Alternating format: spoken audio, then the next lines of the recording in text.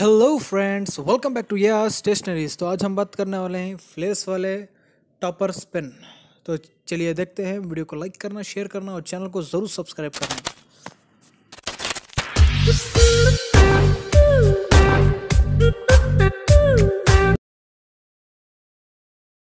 सो so friends तो ये वाला है फ्लेस का टॉपर पेन ये वाला एक बॉल पेन है और इसकी बॉडी प्लास्टिक की है।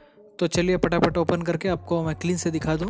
अगर से आप हमारे चैनल में नए हैं तो आप हमारे चैनल को ज़रूर सब्सक्राइब करें और वीडियो को अच्छे से लाइक करें और हमें सपोर्ट भी करें।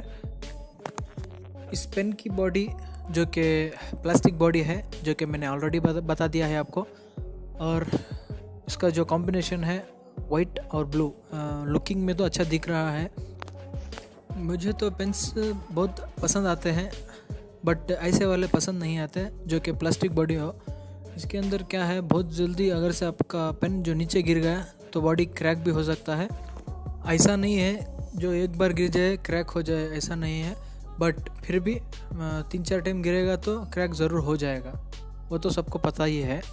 बट इसका जो रेटिंग है, मुझे बहुत पसंद आया। तो चलिए आपको मैं फ़र्स्ट रिफ़िल दिखा दूँ। बाद आपको लिख कर क्लीन से दिखा दूँ इस पेन के बारे में। ये तो रिफ़िल है इसकी रेगुलर जो भी है रेगुलर आपको मिल जाएगी, क्योंकि बहुत सारे कंपनीज़ के रिफ़िल्स भी इसमें फिट होते हैं। तो चलिए आपको लिख कर क्लीन से मैं दिखा दूँ।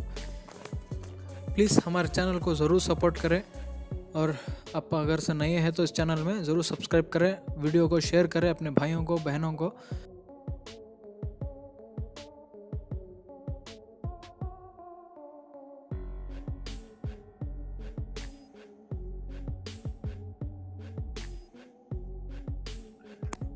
और इस पेन का प्राइस है टेन रुपीज़ मैं जैसे कि आपको बोला था, ये पेन बहुत अच्छा लिखता है, इसका जो इंक है बेहतरीन है।